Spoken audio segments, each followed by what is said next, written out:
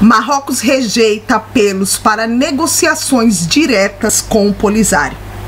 O reino de Mohammed VI continua a ignorar os apelos ao diálogo com a Frente Polisário para encontrar uma solução definitiva para o conflito no Sahara Ocidental, que perdura desde a sua ocupação pelo Marrocos em 1975. Diante dos apelos para negociações diretas, Marrocos opõe-se às suas alternativas e autonomia dos territórios sarauís. Marrocos continua sua política de negação em relação ao Sahara Ocidental, território que ocupa há 45 anos ao recusar sentar-se à mesa das negociações por recomendação das Nações Unidas dos países vizinhos, em particular da Argélia. Mais recentemente, o novo presidente americano e a Frente Polisário, como única representante do povo sarauí.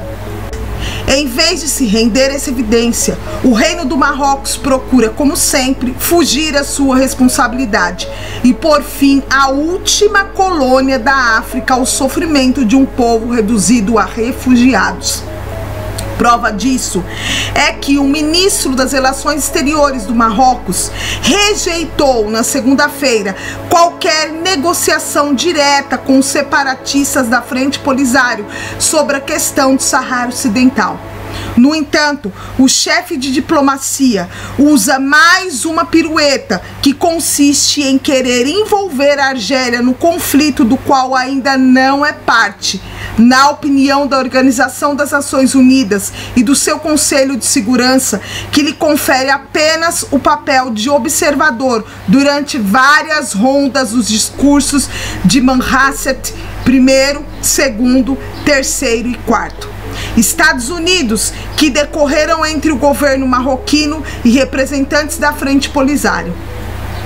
As palavras do primeiro-ministro parecem responder ao seu homólogo argelino que no sábado apelou à negociação direta e séria sobre o Sahara Ocidental entre a Frente Polisária e o Marrocos.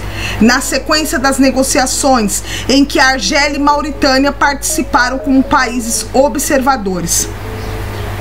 As Nações Unidas também exortam as partes interessadas e retomam as discussões com vista a alcançar uma solução política justa para a autodeterminação do povo do Sahara Ocidental conforme indicado pelo Conselho de Segurança em outubro do ano de 2020. Por sua vez, o novo secretário dos Estados Unidos sublinhou na semana passada o apoio do seu país às negociações políticas sobre o Sahara Ocidental entre Marrocos e a Frente Polisário e instou o secretário-geral a acelerar a nomeação do enviado pessoal à ONU para o Sahara Ocidental. Esta nova posição do governo Biden foi expressa durante uma reunião virtual do secretário de Estado com o secretário-geral da ONU.